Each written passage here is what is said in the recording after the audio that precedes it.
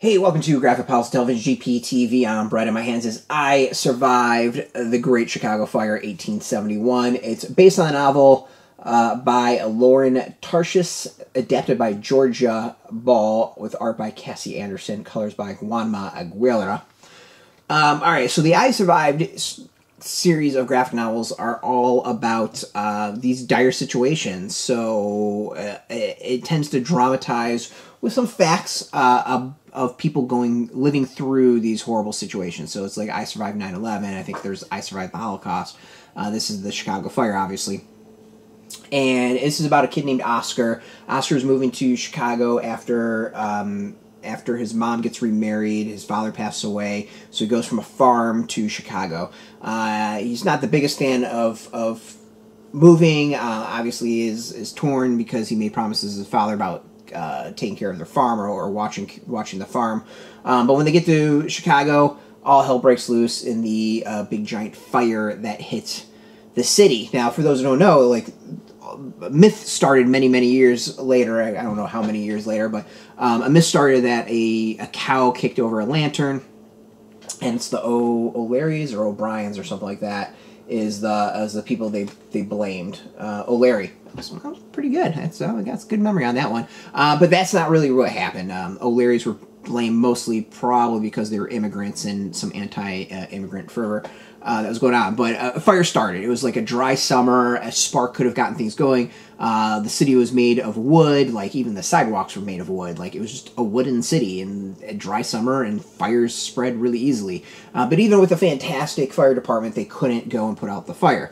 Um, there's small facts like this that are thrown throughout this graphic novel that you can go learn. But really, it's dramatized. It's Oscar uh, gets separated from his mom and dad, uh, trying to get back some luggage that was stolen, and then has to make his way through the fire. It's really like a survival kind of running the gauntlet as things are going up. Um, you, you know, there's a little bit of facts here and there about uh, the fire itself, uh, but generally it's really just a dramatization of what it is. But it's a good dramatization. Like it, there's there's some some fear in this. There's some like tense uh, moments in this. Like you really don't know exactly where it's all going to go, uh, and that I think it's really really good. In the back of it, there's some extra material that goes over like the actual history uh, about Chicago, the fire itself, like where Chicago is now, uh, and and I think I don't remember if it gives other material. Yeah, there's a little bit of other I think reading material that's in there uh, to learn more. Um, so there is like some some back material about learning about the actual Great Chicago Fire. Uh, but for the most part, it's really just this kid running the gauntlet of flames, trying to survive, uh, and kind of taking you through how a lot of people got screwed by this. Like there was water, uh, but the water was freezing. You know, there was giant buildings all over the place. There was really no place to run, and that was kind of that's kind of the point of the graphic novel. Um, the art is good. I think once things really get going, like it's generally good.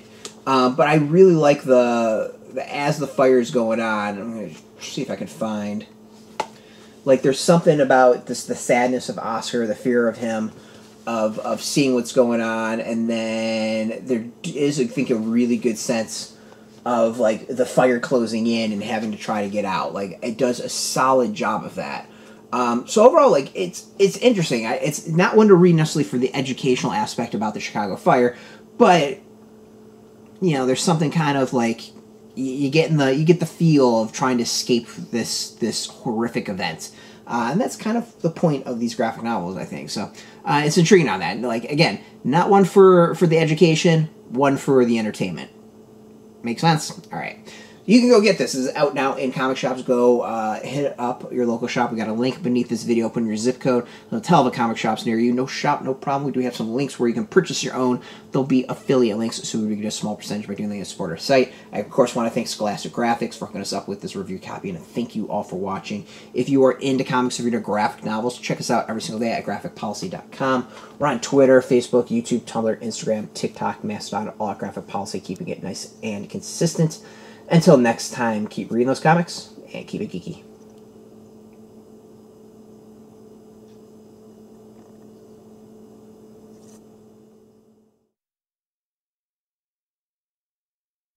Hey, thanks for watching the previous video from Graphic Policy Television. Just by watching, you help support our site. Thank you so much. Now, if you're watching these videos, you probably care about geeky things like movies, television, comic books, toys, games, video games, you name it. You can go and subscribe right now to our YouTube channel to stay in touch and catch all the new videos, or check out our website at graphicpolicy.com. There's a nice link on this end of the video. But as always, thank you for watching. Keep on rocking and keep it geeky.